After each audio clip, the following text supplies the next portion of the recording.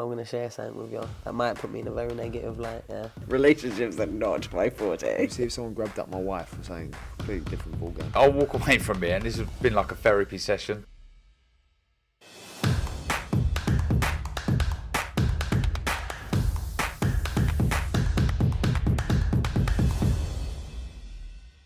Hello and welcome to Raw the Fight Within podcast with me, Kugan Cassius. Absolutely delighted to have Mr. Roy Jones Jr., uh, boxing elite, um, on this podcast. Roy, thank you very much for agreeing to come on here. How are you, first of all? I'm good, brother. How you doing? All good, all good. Every time I speak to you, Roy, we're always talking about your fighters, and we don't really talk about you as such, but you know, we talk about um, different fights coming up. It's almost the same old thing, so I wanted to try something a little bit different here. Okay. Um, so we'll see how this goes. Um, but we are going to ease you into a little bit of uh, boxing talk at the start. Do you, do you remember like the first point in your life where boxing was a thing, like your first ever memory? Of, Yeah, of 19. I think I want to say it was 1974, maybe. My dad was watching Muhammad Ali, Joe Frazier, and my dad was completely overtaken by Muhammad Ali. You know, he thought Muhammad Ali was the best thing since sliced bread. You know, and uh, I was like, wow.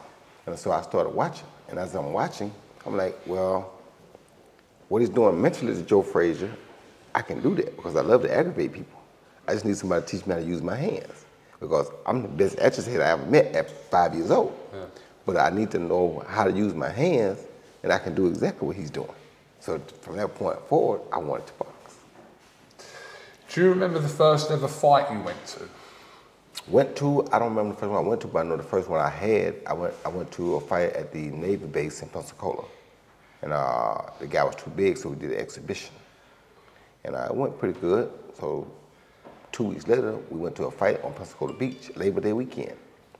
And they asked me, uh, would I fight the guy for real? I said, why not? you know, I mean, I just fought him in an exhibition. He was about 14 pounds heavier than me, but I'm like, why not? So I fought him and I won, and I was like, from that point, I was hooked. But I mean, even before you had your fight, I had you never go been into to a fight. No, I, had, no- I was only like 10 when I had my first fight. I had Yeah. never been to a fight before. Oh, really? Never ever. So your first fight was at 10, yeah? At 10. Wow. Yeah. Many moons ago? Yes. Um, a lot of people, when they ask, well, and I speak to boxers and they say, I ask them like, who was the first person? There's always one boxer that got them into boxing or got them interested in boxing. A lot of people use you as their reference of kind of their first fight. But for yourself, who was that one person that kind of maybe got you into watching boxing in the first place? My dad got me into watching, Yeah. but, but Muhammad Ali was the guy that got me interested in boxing. Hmm. When I saw Muhammad Ali and I saw how, how much my father was taken by what Muhammad was doing, that I was like, I can do that if somebody teach me how to punch. So obviously, when you talk about people like um, Muhammad Ali, because I always ask people when, if you're not born in the era, like when I was, I was born in 1981, so everything I've seen of Muhammad Ali has always been through tapes because he had his last fight in 1981. So I think there is a difference there, isn't there, between It is, it is. being a, around in someone's era to watching reruns and tapes and stuff. Exactly. It's, it's definitely a difference. And to give you a perfect example of that, like people now, they know LeBron, but they didn't see Michael. Yeah. I saw Michael. I know the difference. I can't argue with them because they don't know. They only know what they've seen. They didn't get to watch full games of Michael Jordan. Yeah. Kids never watch a full game of Barry Sanders Yeah. running a football. They know more though. Don't nobody do it like Barry did. Yeah. Don't nobody do it like Michael did. Kobe came close, but nobody does it like Michael did it. But you have to be able to watch the games to actually see. Now you go back and watch full tape, full games, you might understand, but it still be hard because you're watching with your mind already fixed on something else. And you don't understand the importance maybe of the game at the time. You understand? You don't understand the importance of him pushing Bill Russell with the crossover at the same time, coming over hitting that shot. I mean, not, I mean, what what's the boy name was? With the Utah Jazz, not Bill Russell, but uh, I forgot his name. But he pushed him and come up and hit that shot. You don't realize the importance of that happening in Utah at that time. You, Yeah. understand- you understand? So, but you do understand that, like when LeBron came back from three to one down with Golden State, State and won that, you understand that if you're born in this time because you got a chance to be there and live and see and know all the things that surrounded that. You don't know all the stuff that surrounded when he pushed Russell and made that jump shot. So it kind of takes away. You understand me? Whereas if you watch it with an open mind, you could get it, but not many people are gonna do that. Do you ever think about, um, obviously it's, it's difficult for you to probably answer this, but if you weren't involved in boxing, do you ever think about where or what you'd be doing now? No, I don't. I'd probably be playing basketball, or I'd probably play basketball or play football. I wouldn't play baseball, but I'd play basketball or football. And I would give it my try, then uh, who knows what I've been doing. But boxing kept me out of trouble, gave me a way of life, um, taught me discipline, taught me a lot of things. Yeah. And I'm thankful to God for all He taught me through boxing. But whatever it is, you believe you'd be in some sort of sporting capacity? because I refuse to not be first. I gotta find a way to win. you understand me? I refuse to not be first. If I do it, I gotta figure out how to win it. If I don't figure out how to win it, I don't wanna do it. So I don't play golf because I know I'd be out there all day trying to figure out how to win. And I don't take enough, it don't, it don't do enough for my adrenaline to just hit the ball in the hole. I wanna hit somebody in the face. You So with, with that attitude, do you think whatever you decided to do, whether it was something like um, a different sport, you think you would have been as successful as you were in the boxing? Of course I would have, because have gave my all 24/7 until I got there. You know, when I first started boxing, I was okay. Don't get me wrong, but um, you got to remember, I was the type of guy that I believe in what God put me here to do. So my first national tournament, I got disqualified the year before in the regional because my father got me there late and I didn't make weight, right? So I got disqualified. That was the first time I realized that people cared about my existence in boxing because the people that represented my region were highly disappointed because I wasn't representing them. That was the first time I ever felt a sense of responsibility. And when I felt that sense of responsibility, it drove me so hard that you got to remember, I was born from the country. I didn't know what a national tournament really was. The next year, because I owe these people, I went back, won the district, won the regional. First time ever going to a national tournament, realizing what it was, and won that too. And won the most outstanding boxer in the middle class. That's how determined I am when I make up my mind. As a child, you said you um, 10, 10 was the 1st uh, time you, you got in the ring uh, in that sort of capacity. Uh, outside of the ring, do you remember uh, the first ever fight you got into? No, I had quite a few fights. One that sticks in your The brain? one that sticks in my brain was I was um, in the first grade, and uh, all of us, everybody in the class, there was this kid who was bigger than us. He had glasses, he had very tight, nappy hair, and he had big teeth. And he was taller than all of us, and he was mean. And all of us feared him. Everybody in the class, I think the teacher even feared him. And he was in just the first grade. So what age is that? Huh? What age was that? Ah, first grade I had about six, six maybe seven. I think it was six. Yeah. So, and he may have even failed a year. I'm not sure, but he may have been held back a year already because he was bigger than all of us. So one day I came to school as I was getting off the bus, and how do people notice about me? I don't know. But I was, oh, I know why this time because I, I was liking the little girl that they that he had slept. All right. So they came to me and said, hey, his name was Rodney Clark. I never forget it. They said, Rodney just slapped Siobhan. Rodney did what? He slapped Siobhan. Off the bus, I go straight to Rodney. Now, we all normally are afraid of Rodney, but Rodney hit this girl that I happen to like. Right in Rodney's glasses. Bang! Rodney's glasses shatter. Rodney lose, lose control, start crying. I'm talking and they send us to the, well, they send him to the office. The teacher told him, send me to the office. She's so happy I punched him in his face that she left me alone. Win-win, yeah. That's it. you know, so- Win-win. and I never had no problems after that. But Did you ever get in touch back with Rodney Clark I, I grew up knowing Rodney. Yeah? Rodney had a totally different respect for me from that point Yeah, I bet he did. Yeah, I know Rodney. I know Rodney today still. Oh, really? Yeah, yeah. Do you guys ever talk about that moment Nah, you I? I just had to do what I had to do, but he understood. I mean, I went on to become a world boxer, so what are you going to say about it now, you know? Well, that could be his claim to fame, to be honest with you. That's true, that's true, but yeah. No, Do you remember a point in your life where you felt you were fighting a losing battle? Not necessarily in boxing, but just in your life. yeah. At, uh, at, at about 14, when I got disqualified from that tournament, I felt I was fighting a losing battle. Then again, when I went to the Olympics and beat the hell out of the Korean, and they gave it to him anyway, what you boxing for? You beat the hell out of a man, they give it to him anyway. Any, any other sport, and I said this on the interview, Said, any other sport, you cross the finish line first, you win. And boxing ain't the case. You cross the finish line first, you still suck.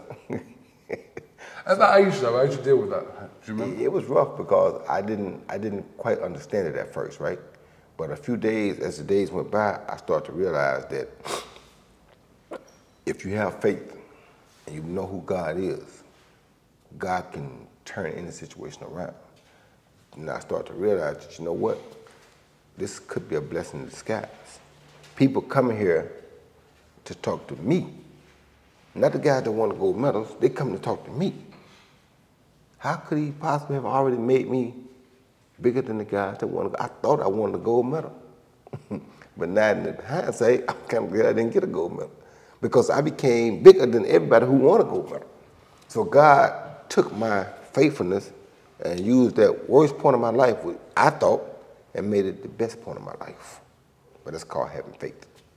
It's difficult, I suppose, to see it at the time, but Mm, about three days. It about took me about three days because you got to think about it. You train nine years to prepare yourself for this one moment, and then they cheat you out of that moment. Nine years of sacrifice and dedication. I'm talking about no family reunions, no Christmas holidays, hardly, no nothing. I had to train through everything. I didn't get family vacations. I didn't go to Disney World, thank God, but I didn't go to Disney World. I didn't go to my family reunions too often. Maybe one or two here and there. I didn't get to go on family vacations. I don't know what none of that meant. it was boxing. For you now, um, you're still very active in boxing. Obviously, not on the actual in the ring side, but you're very active now. But uh, aside from your, the boxing stuff in your life, what are the everyday battles for Roy Jones in your life when you wake up in the morning? What are they, either mentally or physically? What are the, the everyday battles for you? The everyday battle now is to just try to keep yourself in some form of condition and shape because you got to remember your whole life was built around being an athlete. So when you see people, you don't want people to see that you have given up that regimen of having some self-respect for yourself. You don't be walking around sloppy, uh, too big and overweight. And how you gonna tell them that this is the way you're supposed to live your life? Uh, an athlete should live as an athlete his entire life, just like a monk lives as a monk his entire life. You know what I mean? Yeah. So you should live as what you are your entire life if you can. Now, if you got a disease that stops it, that's that's kind of different, different and understandable. But if there's nothing to stop you but you and yourself, then you should be able to deal with yourself enough to keep yourself in shape enough to be able to tell and teach guys. One thing I like about training fighters is they'll tell you that I can give them a perfect example of what I want to see. Mm. If I can't give you an example, then how everybody can tell it to you, but who can give you the example? Who can show it to you? Because sometimes people don't get it, just the words don't translate to what it really is. But when you can show it to them, get over here and copy me for a minute. When they copy, then you go back and explain to them again, uh, to them again then they understand what and why they're doing it. Does that always work? Not always, but most 95% of the time it does. I got a few cats that won't understand it. There's a guy named Andrew Murphy. No matter what you tell him, it's gonna take him time before he gets it. You understand me? There's a guy named Fernando Bunch. He gonna do it like 2,000 times before he get it right. There's a guy named Shady Gamhour. He gonna see it, go back home to Sweden and call you in three months and say, I got it now. so everybody had their own way of doing it. There's a guy named Tony Curtis. He gonna understand it all perfect for the first three rounds, but the fourth round he gonna be back doing what he was doing the first round. So they all got their ways of getting it, but you got to know who all you're dealing with. Kevin Newman, he could do it perfect in the gym, but when I put him in the light sometime, his mind kind of goes other places. Not that they can't do it, they all get it. They just got to know how to put it together at the right time. So some of them, like I said, some will be, uh, they'll do it, but they they can't do it at the right times all the time. My goal is to make them learn how to do it and do it so much that it comes automatic. Hmm. And that's why I stay on them. But I love it because what I teach is very high tech. I don't expect them to be able to get it that quick like that, which makes me give them more rounds of doing it, which is what I want them to do anyway, because that's how I learned. I didn't learn by just doing it one time. I had to be doing it over and over and over and over. And that don't mean I got it right the next fight. I still had to do it over and over and over again.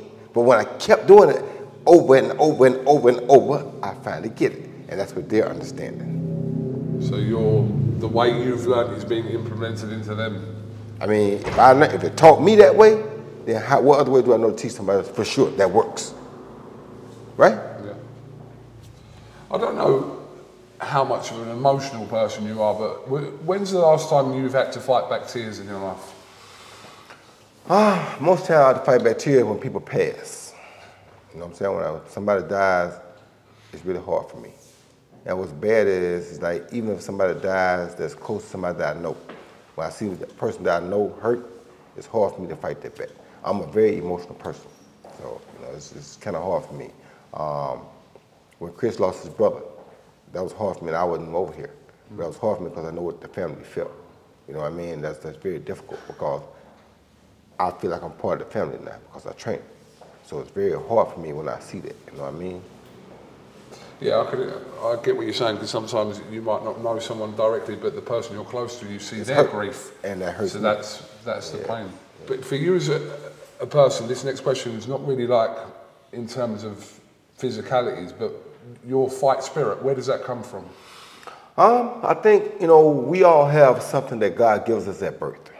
You understand me? And whether we understand it, learn it, or know it or not, some people learn it early, some people learn it late in life. But God gives us all special talents. So whatever our special talent is, we have to find something that we can relate to to help us move that talent forward. You feel me? So for me, as a young kid, anything that would fight, I used to love. I used to catch bees and put them in the jars together just to see them fight. I used to catch frogs, put them in the jar, catch grasshoppers and feed just to see them eat them. I always study nature and animals that fight or animals that devour other animals because I want to see what tactics they use to devour the other animals. You understand me? So nature taught me how to be a fighter, but also how to know how to attack something. You understand me? And with that being said, it's like I learned quickly that I was a hunter. You understand me? A guy that wanted to compete. I wanted to be an alpha. And I learned that right away. Is that something you've developed yourself in your life? Is it had has your dad had input in that? I'm assuming he has. I'm sure he did too because he was that kind of person. So, and he was the one who taught me about the game roosters, taught me about the pigs, taught me about the cows. He taught me about a lot of animals first. So when I learned about these animals, I started figuring out which ones characteristics characteristics I liked, or which characteristics characteristics I liked about those particular animals. Wow, I didn't know this. Is it now? Yeah. well, I'm learning now as well myself. But um, for yourself, uh, Roy, as well, do you, have you had to fight demons in your life? Yeah, you had to fight demons. Um, I had to fight several demons in my life. You know, um, it's kind of hard because like when you fight, you you have to deal with. First of all, the biggest demon is the yourself. Fighting yourself to make weight, fighting yourself to stay focused, fighting yourself to not go out and party or go out and do things with women when you know that you got a fight coming up. You know, but the biggest demons probably are the demon of me and my father not being able to get along. That's probably my biggest demon. How is that situation? Still the same. He's a lion, I'm a lion. But listen, but look at it like this. This is what you have to understand. I had to understand this way. Some animals remain part of the family for life. Other animals, like a lion, when he gets a certain age, he did tell him, okay, now, you gotta go. Why you gotta go? Because you're a lion. You gotta go be a lion. You can't be a lion under oh, this lion. This lion is the lion here. You gotta go be a lion somewhere else. And that's what you have to realize. So I understand it now, and now it's so much clearer to me because I understand nature. Everybody isn't gonna be the same. You understand me? I mean, you gotta think about a horse, and people don't know this either, but a horse. In the wild, a horse has his whole family, right? If a male stud comes and wants his daughter, that stud gotta fight him. So he can know that that stud can fight before he allows that stud to take his daughter. You understand it? That- that, stud that don't, that stud don't fight him and show that he can fight, he ain't getting his daughter. That's that, but that's nature. So you have to understand what part of nature relates to you. Because God made everything, including the nature. God made all the animals. He made all the people, all the trees, all the animals, the fish of the sea. He made everything. So what part of it can you use to relate to yourself? What characteristics of that particular animal can you use to relate to yourself? It's like I tell people all the time. I know you know Isaac Chilemba, right? Yeah. I told Isaac Chilemba, if you realize what you are, you would have been a lot better fighter. Because in reality, you're a hyena or a wild dog. You understand me? What a wild dog does, the wild dog is not that powerful like a lion. He's not fast like a cheetah. But he can go all day long. They run you 30 miles, run you down, then they weigh you up. But they, they ain't got the biggest, sharpest teeth. They ain't the strongest animal, but they gonna stay on you. That's how Isaac fight. Isaac's not the best puncher. He takes a good punch, but he's not the best puncher. But he can go all day. If he would have figured it out early in his career, he'd have had a different career. But nobody was around to help him figure it out. You use a lot of references and comparisons to nature and, and animals. Is this something that you implement in boxing and in life as well? Of course. Yeah. Of course, you have to. God gave us that. Who gonna be better or smarter than God? you understand me? So if you're not gonna use what God gave you, how big of an idiot are you? In my in my opinion. You say that that's the blueprint there for us to follow? There it is. There it is. That's why I tell people when they come in the gym, even people like AJ, say, you come to my gym, I'm not here to teach you to fight like me. I'm here to figure out what are your best characteristics. What is your DNA? How do we better your DNA? You understand? Everybody here is different. You know, everybody around boxing is different. Everybody has different DNA. Now there are guys with a similar DNA. You know what I'm saying? You gonna find two guys like Tank and um, the guy he fought the short guy, Pitbull. Yeah. They kind of similar. Just the Tank has a little more boxing skills. Yeah. Yeah. Tank got a few more boxing skills than Pitbull got. But they kind of, they fight mentality is kind of the same. So there you're going to have two pit bulls. Which pit bull will be the smarter? During your, whether it's your fighting career or just in your in your life over the years, have you ever had to fight depression? Depression, no. No. Never fought depression, no. Uh, reason I never fought depression is because throughout my life as a kid, I was always depressed. I stayed depressed because my daddy kept his thumb on me so hard. I lived through depression my whole time. You understand me? So once I got to be an adult and got free of that, I'm so happy to be free, I can't be depressed anymore because I know what it's like to live under that thumb and be depressed. I was depressed my whole childhood To what age? Till about 18 and 19. Really? Yeah. Is it something at that age you didn't see yourself getting out of, or you saw? Did you see that light at the end of the tunnel? Or? Only God, only God showed me that I could get out of that one day. You know, God would show me different things, give me different signs, and tell me just keep going, you're gonna be all right. That's why I would keep going because I believe in what God showed me. So you said till 18. So those years after that, it did. It wasn't ever a factor in your life. Mm, no, because once I got 18, I went to Olympics at 19. When I came back from the Olympics, I was about to sign with the Emanuel Steward to get away from it all. But my mom talked me into giving him a few another chance. Talked giving my dad another chance. So it's okay. So I gave my dad another chance from 88, from 89 to 92. 92 is the same thing. Not knowing, I wasn't depressed anymore because I knew I had the right to do whatever I, whatever I wanted to do at that point. But it was kind of similar. You know, you now understand that you can't talk to me like I'm a kid no more. I'm a grown man now. You know, you thinking that you got to have every say so in everything I do. That can't happen no more. I'm a grown man now. You understand me? I mm. have my own stuff. I have my own women, my own things. You can't dictate everything no more because I'm becoming my own lion. And sure enough, he kept trying to do the same things and it just didn't work. So at some point it got to where I was ready to kill. And I said, you know what, that's God tell me it's time to go. But I always asked that God would show me, give me signs, let me know when it was time to leave. And God did, Do you believe in that everything happens for a reason? without a question. Yeah. It's a bit of a, a well-used cliche, but I, I'm a believer of. Mm-hmm. You might not see what that reason is at the start, but there is always a reason. Most of the time I don't see the reason, but I know it is. and I believe what God tells me. So when I hear him tell me to do it, I do it. Per- Perfect example. People don't know this, right? My main coach throughout my career- career was Alton Merkerson after me and my father separated in 92, right? Yeah. So me and Alton, every title I won, main titles I won was with Alton Merkerson, right? People didn't know that he was the alternate coach the assistant of my Olympic team, right? In 1988, before I left the Olympics, you know what I told him? Give me your number and stay in touch. Let's stay in touch because one day I'm gonna need you. In 1992, you know what I called him and told him? Go. I said, you remember the day I told you one day I was gonna need you? He said, yeah. I said, well, that day has come. And that's how that happened. So Wow. tell me I don't listen to what God tell me. people don't know that about me though. People think I, he shouldn't do this. Or he, people don't understand. Y'all don't know. Y'all just like me. We live up under God's rule. We don't know. Y'all don't know no more than I know. But when he tells me, but listen. So it's something he told me. It was something about that's got to be God talking to me. You get along with this guy, get his number, because you might need him again. So I got his number. And I told him just that.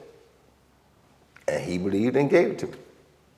So that's what it is. That easily could have not happened as well, and then Easily. easily, yeah. And I never would have probably been Roy Jones because all I needed was somebody to help me make sure I'm in the gym every day, help me make sure I'm on time, an army guy that'll make sure I'm on time and at the gym. That's all I need. All I need is somebody to make sure I'm there. I'm gonna do what I'm supposed to do from there. Just make sure I'm there. Because if I ain't there, I ain't gonna do it. But from there, I'm gonna do it. If I come in here, I'm gonna do what I'm supposed to do. Just get me in here every day. And that's what he was able to do. And I knew that when I first met him. Because that's what he was. He organized everything for us in training. He set up the whole training camp for us and everything. He wasn't the head coach, he was an assistant. But he did all the hard work, all the real work. He did. So I said, you know what? He kind of, and he never tried to change me in training. He always let me be me in training. So I said, you know what? This guy right here is the perfect guy if I ever get to where I needed a trainer. Because he ain't trying to change me. He let me do what I do. And that's what I need. You fight for your family and community and people around you. Who fights for you? Who's got your back outside of a boxing environment? Who's there for Roy Jones? Whether it's uh, Outside of boxing environment, outside of boxing, I got an uncle named Fred. yeah, Uncle Fred is and has always been my best friend in life. And uh, my Uncle Fred is my like he kind of you know I like to say when God when one door closes, God opens ten more. Is that when the door closed with me and my father, the door had already opened with me and my uncle. so my whole life, my uncle been more like my big brother. You feel me? Yeah. He and I share a lot of the same thoughts. So my Uncle Fred is like I go, even today, when I'm home every day, I go see my Uncle Fred because we're gonna have something to talk and joke and laugh about. I'm a big fan of laughter. Anybody that knows me will tell you that I'm a huge fan of laughter. Uh, I love to laugh because laugh is, laughing is good for the soul. You can't laugh, then you're not really alive. You feel me? Yeah. Laugh and love, laughter and love are the two best things going. You can love people, love yourself, and you can laugh, then you got something. and that's what you get from your Uncle Fred. My Uncle Fred always keeps me laughing. And I keep him laughing as well. So Do you go to him for advice? yeah, if I need to. Does he go to you for advice? Of course he does. It's a two-way street. Two ways to, yeah. And he's a lot older. He's probably about 18 to 20 years older than me, but still a two-way street. We respect one another as men. So because we have that same respect for one another, it is what it is. If you've got a problem, who do you call? Fred, Call Fred as well. Mm-hmm. He's a man for all occasions then for you. everything. But now, because like I said, I came over here to the UK now and learning my new friends. And this guy Tony Curtis Senior over here, I can call him too.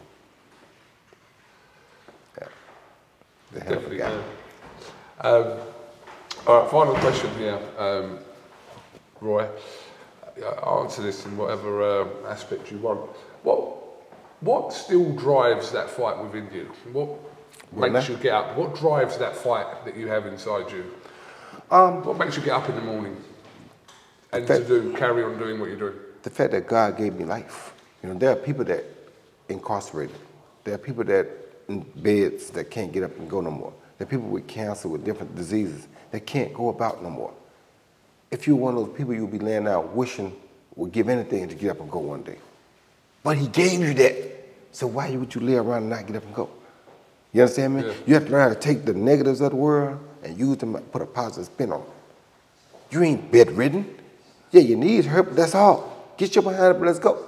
you understand? You got kids that want to learn how to fight. You got these guys that want to learn how to box.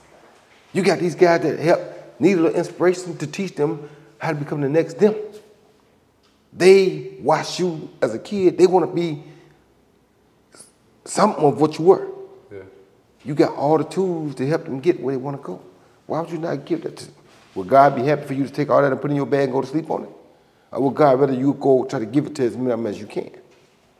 I think God would prefer that I go give it to as many of them as I can. Because now when the day comes to an end, what did you do in life? Well, I don't know what I did, but I know what I tried to do. you know? It's true, isn't it? It isn't. It If you try to do something, you can't Like I go said. with any regrets. I don't know what I did, but I know what I tried to do. My intent was to give as much back as I could. Because I appreciate what he gave to me. Do you regret anything in your life? Regret anything? Um, because of the way the world is, I probably regret that I didn't stop after I won, after I beat Tarver the first time. Mm. Because now it would definitely be, it wouldn't be too much of an argument who's the greatest fighter of all time. But I couldn't go down like that. That's just not who I am. It's not in my DNA. so that never would have happened. And much, as much as I regret it, that never would have happened because it's just not. who- You can't put a fight out there and say this guy can beat you and I don't go fight. You got he got to show me. I'm sorry, but that's just what it is. Okay, well, Mr. Roy Jones Jr., thank you very much for coming on Raw the Fight Within podcast. Uh, yeah, it's been interesting because, like I said, we talk about the same stuff every time Right. you're around. It's good to kind of get some sort of different perspective of you and your life. So, yes, busy period for you coming up, which we'll uh, talk about in due course. But yes, Mr. Jones Jr., thank you very much for Thank you, brother. talking to Raw. Appreciate it, brother. Thank Good you. man.